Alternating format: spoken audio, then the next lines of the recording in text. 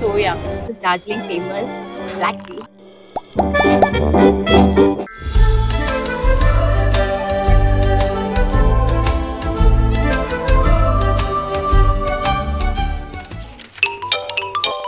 मैंने अपनी सुबह की शुरुआत की ग्लेनरीज बेकरी से जो यहाँ की पॉपुलर बेकरी है। आफ्टर एट ये बेकरी सुबह साढ़े छः बजे ओपन हो जाती है तो it's a best option for breakfast fruit cake या फिर बनाना वॉलनट कस्टर्ड डोनट और जैम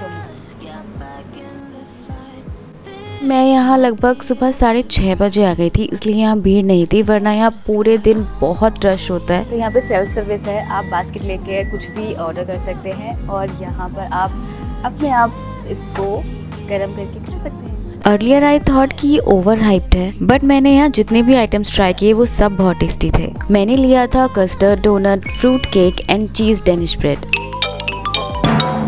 Wow. एक multi layer sweet bread I think ये चीज़ कैरमलाइज किया है इन्होंने this is my kind of sweet बहुत ज़्यादा मीठा नहीं है ये कॉफ़ी के साथ बहुत अच्छा जाएगा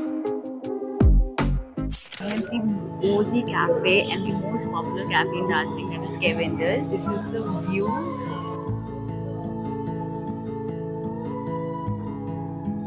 हमने ऑर्डर किया है hot chocolate burger and crisper fries shape is interesting. Crispy. And this is Darjeeling famous black tea.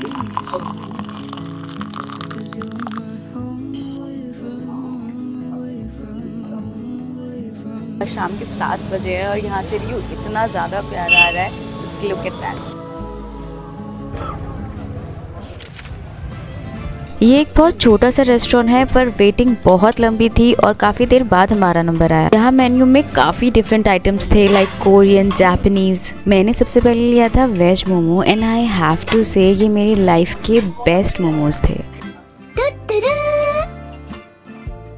तो हमने ऑर्डर किया है Schezwan paneer pav. I think it's one of the best restaurant for both veg and non veg lovers काफ़ी flavours हैं।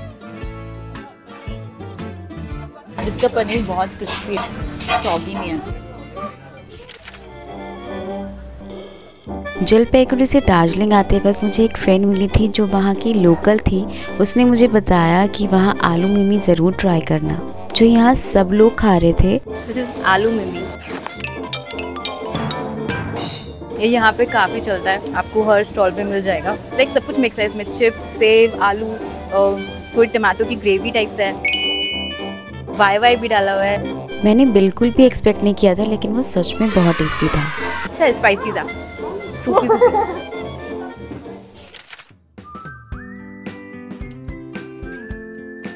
शाम का time बहुत ही pleasant होता है दार्जिलिंग में और हमें मॉल रोड के ग्लेनरी रेस्टोरेंट में काफ़ी रश रहता है इस रेस्टोरेंट में। यहाँ वेज ऑप्शंस थोड़े से कम थे तो हमने मंगाया था वेजिटेबल लॉग ब्रिटन जो काफ़ी चीज़ी था लेकिन वेज में सिर्फ़ कैरेट्स एंड मटर थे तो इसलिए ज़्यादा अच्छा नहीं लगा।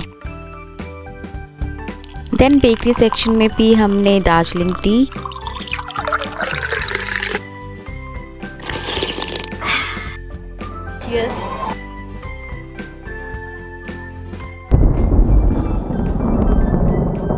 this is custard bun जो हमने ग्लेनरी से पैक कराया था।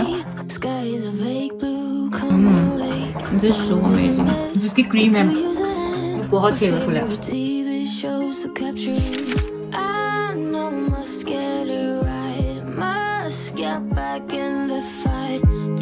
just can't